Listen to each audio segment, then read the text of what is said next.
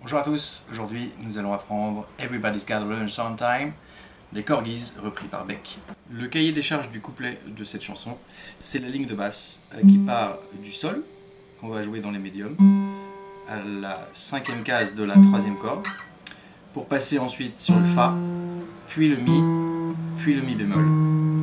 Rythmiquement, on va faire 1, 2, 3, 4 et 1,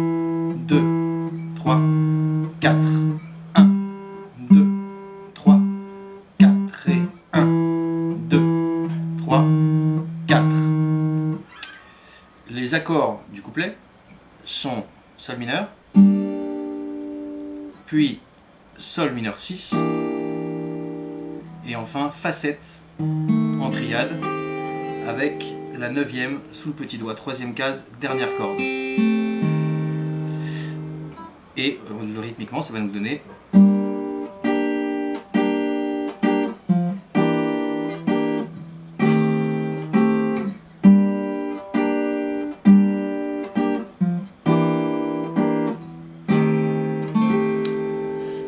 Cette boucle est répétée ainsi. Change your heart.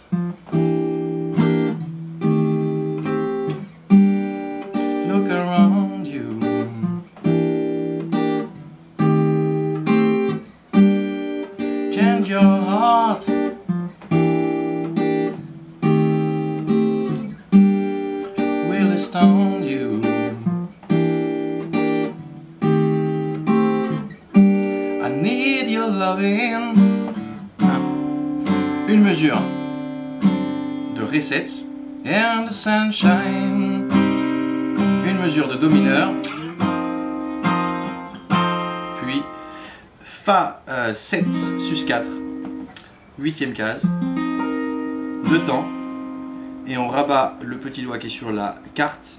On le ramène sur la tierce majeure pour faire un Fa 7. 1, 2, 3, 4.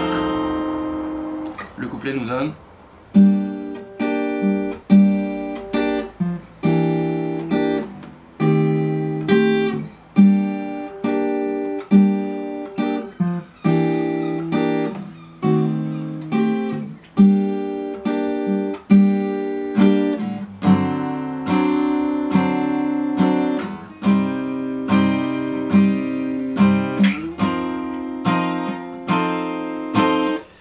voici sur le refrain qui euh, a pour particularité de commencer par une mesure de deux temps en Ré mineur. Ré mineur qu'on fait en barré, cinquième case. Puis nous aurons Mi bémol majeur, septième majeur. Donc un barré sur la sixième case avec l'index sur la tonique, deuxième case, l'annulaire, huitième case, troisième corde, le majeur, septième case, quatrième corde, le petit doigt, huitième case, cinquième corde, et enfin la dernière corde est barrée par l'index. Ensuite, Ré mineur 7 avec une basse de La, la deuxième corde, et Ré mineur 7, le même accord mais avec une basse de Ré, donc la troisième corde. Donc on arrive sur le refrain. Deux temps. 1, 2, Mi bémol. Une mesure, sauf que on joue deux temps. Puis on vient faire sonner la tonique. On pince la tonique avec le pouce main droite et avec l'annulaire la tierce majeure, la cinquième corde, pour faire le voicing suivant, donc tierce, quinte,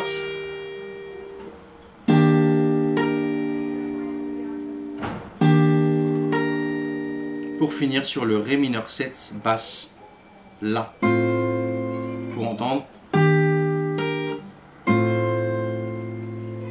Ce qui nous fait Ré mineur 1 2 1 2 3 4 1 2 3 4 donc la mesure avec le Ré mineur est divisée en deux temps.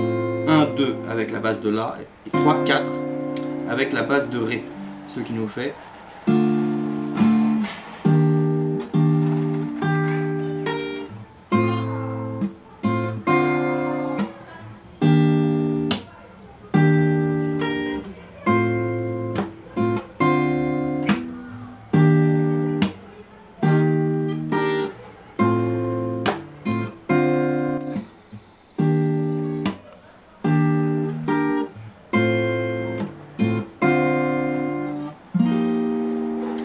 On finit le refrain par un Fa sus 4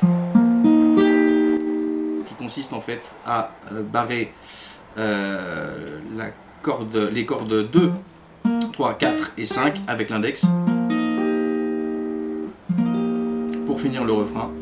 Et enfin l'interlude qui va nous permettre de revenir sur le couplet, c'est euh, tout simplement un 2-5. Mais qu'on ne le fera pas comme ça, on le fera Sol mineur 7 et Sol mineur 6.